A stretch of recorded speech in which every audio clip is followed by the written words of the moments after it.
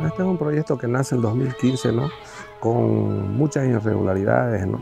Que donde no hubo la consulta previa, libre, informada a los pueblos indígenas, sino una socialización del proyecto a nivel municipal.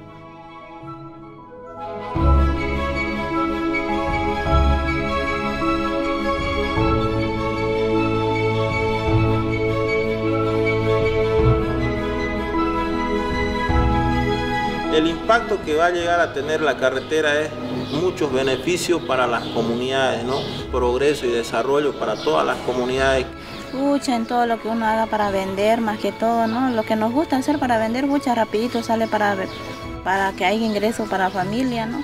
Inclusive la, la unión de, de nuestros pueblos.